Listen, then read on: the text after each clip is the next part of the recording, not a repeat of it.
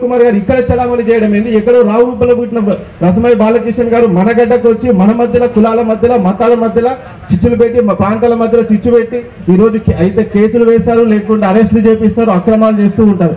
మొన్న గతంలో బెజ్జంకిలో మాట్లాడుతూ కాంగ్రెస్ పార్టీ చచ్చిపోయిందన్నారు. కాంగ్రెస్ పార్టీ చచ్చిపోయింది అనడంతోనే నీ రాజకీయ పరిజ్ఞానం ఏందో అర్థమవుతుంది. నువ్వు ఒక రాజకీయ అజ్ఞానివి. కేవలం కేసీఆర్ బొమ్మ పెట్టుకొని కారు గుర్తు పెట్టుకొని నువ్వు రెండు సార్లు గెలిచావు. ఇదే గన్నరవారం వేదిక మీద మీకు సవాల్ విసురుతున్నాం కాంగ్రెస్ నాయకులం.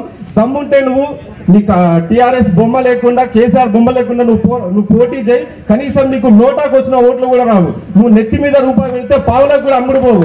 అలాంటి నువ్వు ఈ రోజు మానకొండ నియోజకవర్గానికి వచ్చి పోలీసులని అధికారులను అడ్డం పెట్టుకొని మా పైన కేసులు వేస్తున్నావు. చాలా సార్లు పోలీసులు కూడా నాతో చాలాసార్లు చెప్పారు. తమ్ముడు మీరు చేస్తున్నది పోరాటం అద్భుత పోరాటం. కానీ ఎమ్మెల్యే నుంచి మాకు ప్రెషర్ ఉన్నది. మీ మీద కేసులు పెట్టాలి మిమ్మల్ని బైండ్ ఓవర్ చేయాలి మీ మీద పీడీ యాక్ట్లు పెట్టాలని చెప్పి ఎమ్మెల్యే మమ్మల్ని ఫోర్స్ చేస్తున్నారు అంటున్నారు. మేము ఇదే మరొకసారి మీకు చేస్తున్నాం. మీరు మా మీద ఒక కేసు కాదు వంద కేసులు పెట్టుకో. వంద పోలీస్ స్టేషన్లో వంద కేసులు పెట్టుకో. ఈ బాణకొండ నియోజకవర్గంలోని కాంగ్రెస్ కార్యకర్త గోరు మీదున్న దుమ్మును కూడా నువ్వు ముట్టుకోలేవు రసమాయి బాలకిషన్ ఖబర్దార్ నిన్ను తరిమి తరిమి కొట్టకపోతే చూడు మానకొండ నియోజకవర్గ ప్రజలు రాబో ఎన్నికల్లో నేను తరిమి తరిమి కొడతారు.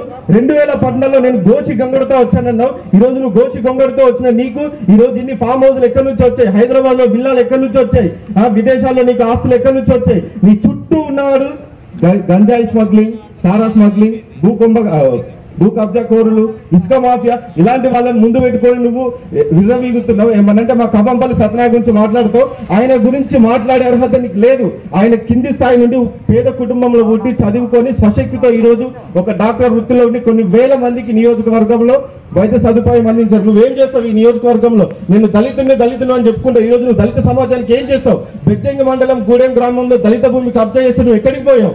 ఒక దళితుడు మూడెకరాల కొరకు ఆత్మహత్య చేసుకుంటే నువ్వు ఎక్కడికి పోయావు? నువ్వు దళితుడి కాదు నువ్వు దొరవి నువ్వు మానకొండు నిజానికి మానకొండు నియోజకవర్గానికి ఒక నయా దొరవిగా తయారైపోయావు. నువ్వు దళితుడు అయ్యింది దళితులే అణిచవేస్తున్నావు. రాబో రోజుల్లో మానకొండు నియోజకవర్గంలో ఒక దళిత దళిత సోదరులే కాదు ప్రతి ఒక్కరు నేను తరిమి తరిమి కొడతారని హెచ్చరిస్తూ ఈ అవకాశం ఇచ్చిన పెద్దలకు నా యొక్క ధన్యవాదాలు.